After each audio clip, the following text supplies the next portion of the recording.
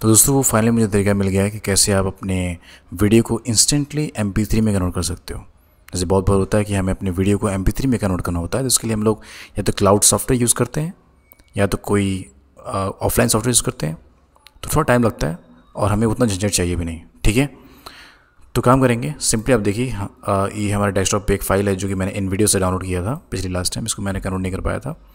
Seventy three इसका file size है। तो आप फ़ाइल साइज़ से डरे ना, क्योंकि फ़ाइल साइज़ उतनी ही रहने वाली है, बट ये एम में हो जाएगा, जिसको आप अपने काम में ले सकते हो।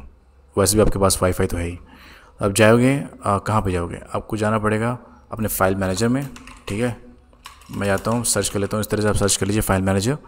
आप जाइए, और ये फ़ाइल मेरे पास डेस्कटॉप में है तो मैं जाऊँगा डेस्कटॉप में, और आपको ये देखेगा थ्री डॉटेड जिसका नाम है सी मोर क्लिक करोगे, आपको जाना है ऑप्शन में और आपको जाना है व्यू में, ठीक है? व्यू में जाने के बाद आपको दिखेगा यहाँ पे hide extension for known file type आपको उसे अनचेक करना है अप्लाई कर देना है, ठीक है? ये विंडोज़ 11 और विंडोज़ 10 दोनों में काम करेगा और किसी भी विंडोज़ में काम करेगा, ठीक है? आपको दिख गया एम आपको सिंपली क्या करना है, आपको ये फ़ाइल टाइप में जाना है फ़ाइल एक्सटेंशन में जाना है, आपको सिंपली से एम कर देना है और ये पूछेगा आर यू वॉन्ट शो आपको यस करना है। Now this is converted into M P three right converted into M P three ये hey, hey, hey. Well. ये अभी भी कन्वर्ट नहीं हुआ। hey, hey, hey. एक्चुअली ये एमपी थ्री में हो चुका है बट वीडियो भी शो कर रहा है। तो इसे मैं प्ले कर सकता हूँ इस तरीके से आपको दिखाता हूँ। ओपन विथ ओपन विथ मैं कर सकता हूँ इसे। मीडिया प्लेयर तो ये मीडिया प्ले में भी वर्क hey, करेगा। Actually hey, hey. इसका फ़ाइल टाइप चेंज हो चुका है तो आप इसे एम थ्री में एक्सपोर्ट इम्पोर्ट कहीं भी यूज़ कर सकते हो। ठीक है? और राइट तो ये बिल्कुल चेंज हो चुका है, आप इसको यूज़ में ले सकते हो। और फ़ाइल टाइप वगैरह रहने वाली है आपके पास वाईफाई है बट आप समय नहीं देना चाहते हो।